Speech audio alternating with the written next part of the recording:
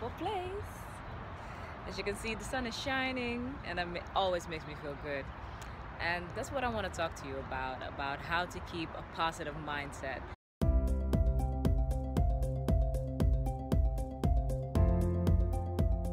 Hello everyone, welcome to my new business vlog. As you can see, I'm still in San Diego. so I will leave in a couple of days, but I thought let me make this video for you probably when you see it I'll be already uh, back in Amsterdam but uh, still wanted to make this video now from this beautiful place. As you can see the sun is shining and it always makes me feel good. And that's what I want to talk to you about about how to keep a positive mindset no matter where you are in your business or uh, in which environment you are. You know how to keep a positive mindset when want to achieve goals, when you are driven and want to, um, you know, get ahead, uh, how can you stay positive and keep yourself going? Because in every journey, there are ups and downs.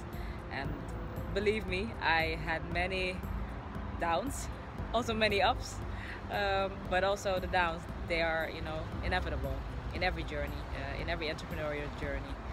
Um, many projects uh, which I have, you know, tried to, which I tried to initiate, they failed, or there was not enough budget, or the market didn't want it. Um, for example, uh, a uh, vitality business I set up with two other partners a couple years ago, in which we would have, um, yeah, companies, in, which we wanted to have companies interested in hiring, uh, yeah, workshops to increase their employee fitness, employee wellness.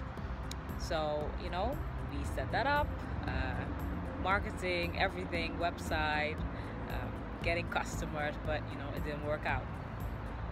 And there are many multiple things uh, that I also started which didn't work out. For example, I'm now writing a book uh, called Joyful Entrepreneurship. In Dutch is Joyful Ondernemen. And uh, it, it will be published in Dutch. But before that, a lot of people don't know it, I already started writing like two books.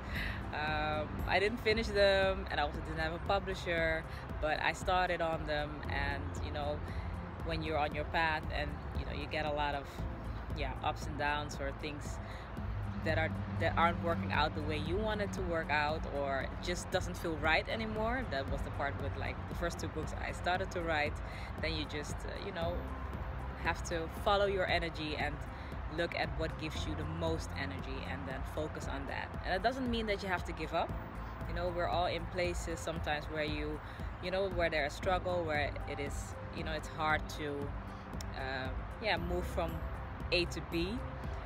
Doesn't mean you have to give up but you do have to consult with yourself your inner self. Like is this really in line with my passion with what i want to accomplish with what i want to give to this world. And if you can say yes then go ahead. Just take that journey. But if it's I i don't know or no then just you know you have to quit and kill your darling sometimes. So um, you know as an entrepreneur always you will have those uh, decision making uh, yeah points in which you have to decide like will I continue with this project or business or whatever or will I terminate it? And that doesn't mean you give up. It just means that you find another route to achieve that you know dot on the horizon which you really want to achieve. So that's my uh, yeah my tip inspiring these are my inspiring words for you.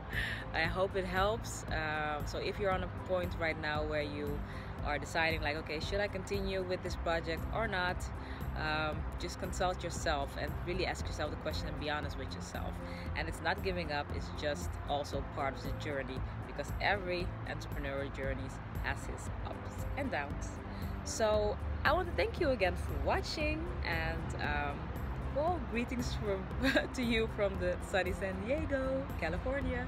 And the next vlog will be in Amsterdam again. So I'll see you then.